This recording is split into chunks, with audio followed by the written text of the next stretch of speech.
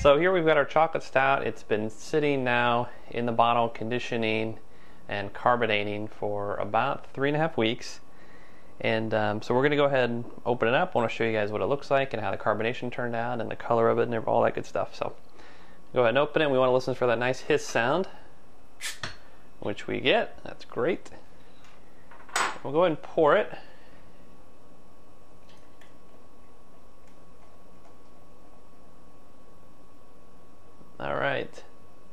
So it's got a pretty high carbonation level. You know, probably a little higher than we were shooting for.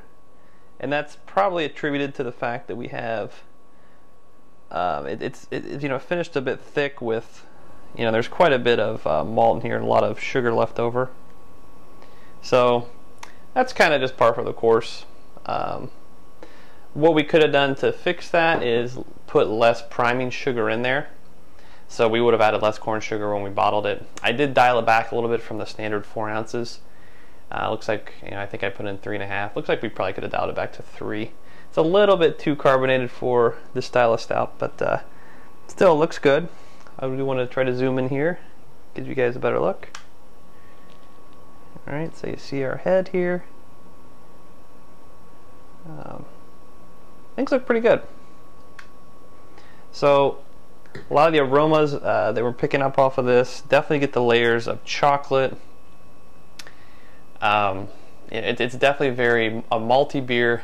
Um, finished a little bit thick, a little bit thicker than I would have liked. So a possible reason why uh, you know our beer finished a little bit thicker was because the yeast didn't quite get its job done. Uh, this yeast, you know, wasn't really active. The starter wasn't really active and um, you know we didn't get a, a, really crazy active fermentation. So I think that's why the beer finished a little bit thicker than we would have liked, a little bit too much sugar left over.